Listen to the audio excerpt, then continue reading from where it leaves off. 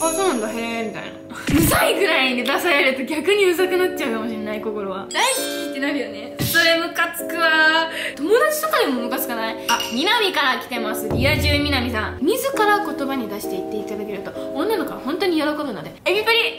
皆さんこんにちは。エビの心です。ハロウィンです。イエーイ。動画には全く関係ないんですけどハロウィンなのでドンギツネの格好にしちゃいました。イエーイ。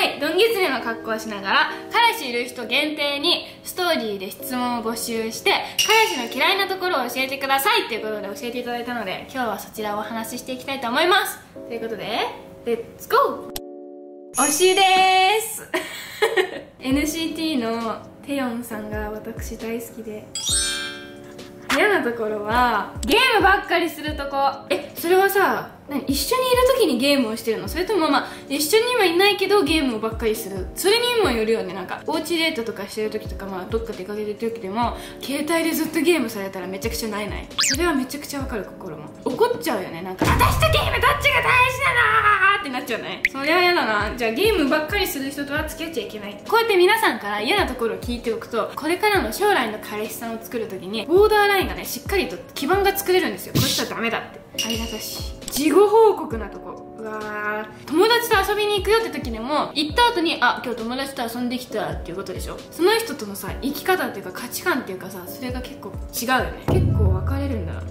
だから事後報告が嫌な人は多分本当に嫌だと思う。でも全然気にしない人は多分全く気にしないと思う。あそうなんだへえみたいな。夜の電話中にゲームしたりアニメ見たりするところ。えー、やだそれは。何なの？どっちがいいの？って感じじゃない？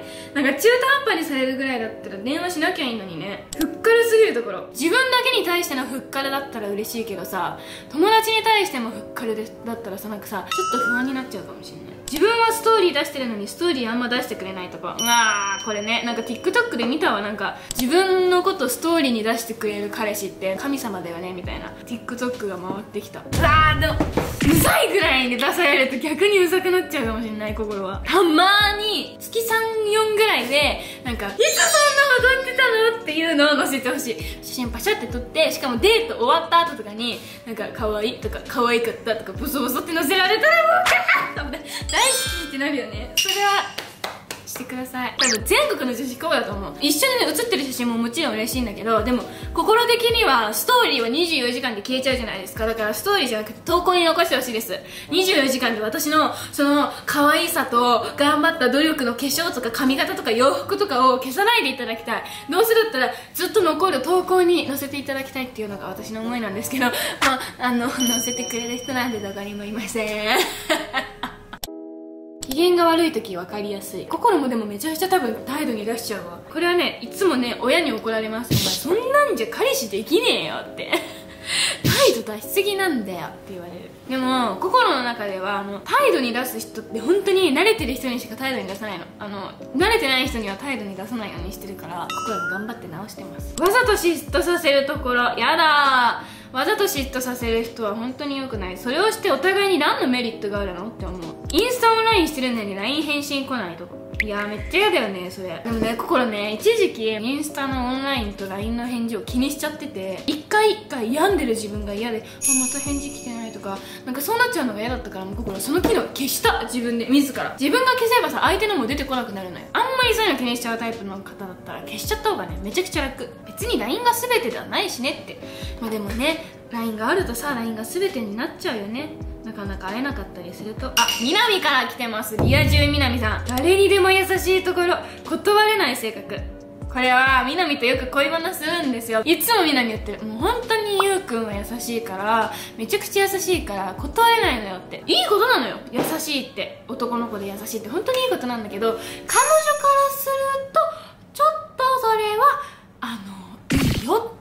さ極端に言えば自分だけに優しくしてほしいの女の子って。多分そうだと思う。いいんだよ。みんなに優しいのはいいけど特別感が欲しいのよ。彼女っていう特別感が欲しいししっかり断るところは断ってほしいの。俺は彼女がいるから遊べない。俺は彼女がいるからダメとかそういう彼女がいるから彼女がいるからという8文字を言葉に出すか出さないかだけで当に変わるの。全国の男子聞いてる？自ら言葉に出して言っていただけると女の子は本当に喜ぶので誰にでも優しいは優しいんじゃないんです。はい名言いただきました。あ誰にでも優しいは全く優しくないです。男の子気をつけてください。切れてるのにそれに気づかずに LINE を明るく送ってくるところ。それムカつくわ。友達とかでもムカつかない？ああ何みたいな。分かったってなるよね。メンタル弱いネガティブなんかさ男の子ってさ意外とさなんだろう構ってほしいみたいな大丈夫だよなんとかが一番だからって言ってほしいがためにネガティブになっちゃったりメンタルが弱めになっちゃったりするのかもしれないけどそれがまあ自分だけに対してだったらいいよね。それを他の女の子にもやってたらおいおいおいってなるけど秘密主義。うわーやだわこれ。カップルで彼女に対しての秘密主義はマジで心本当に嫌かも。サプライズとかとは別にさ秘密主義は嫌だね。なんかとか友達を優先して友達がなんたらだからとか言われるとちょっとなんかあ自分より友達優先されてんだって思っちゃうかもしれない。推しと自分を比較するとこえ？最低じゃない？普通に。推しと自分を比較されたらここめちゃくちゃ無理だわ。推しと自分比較されたら結構なえるかも。推しの代わりじゃないしみたいな。自分は自分で見てよって。感じ運転になると短期これはうちのお父さんとお兄ちゃんです。お母さんが送ってきてんのかな？違うかさすがに。嘘じゃん。耳逆なんだけど！こっちじゃん。なんか一色で寂しいと思ってた。彼氏じゃないけど元彼の付き合ってから性格変わったところが嫌いでした。付き合う前までめちゃくちゃいい人だったけど付き合ってから人格変わったかのように変わる人いるよね。友達にいじられるのが嫌だからって彼女いるのを沸かさないとこ。いややだそれ。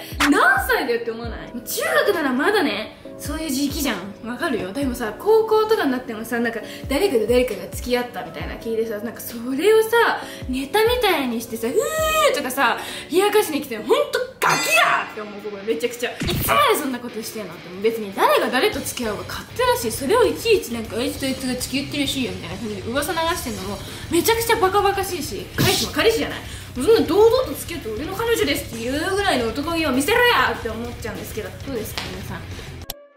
悩みを言ってくれないとこ。確かに女の子は意外と彼氏さんが悩んでいることとかを共有して一緒に解決したいっていう思いがある子が多いと思うけど言えないのか言ったらダサいと思って言わないのか分かんないけど言わない人とかいるよね。よくなんか周りのカップルでもいた。うちに悩み何も言ってくれないからうちの前ではいつも楽しそうだけど実は友達といると悩みが多かったりあと他の女の子には悩み相談してない。彼女じゃなくて他の女の子に悩み相談をしてるって子がいるらしいたまに。それはちょっと確かに嫌かもしれない。女の子もいるのに遊んだりお泊まり行ったりするとここれは完全アウトですね。なんで彼女がいるのにさわざわざ女の子がいるところに遊びに行くんだろう。なんかそういうそのさ行こうって思った時にさ彼女のこととか思い出さないのかな頭の中に。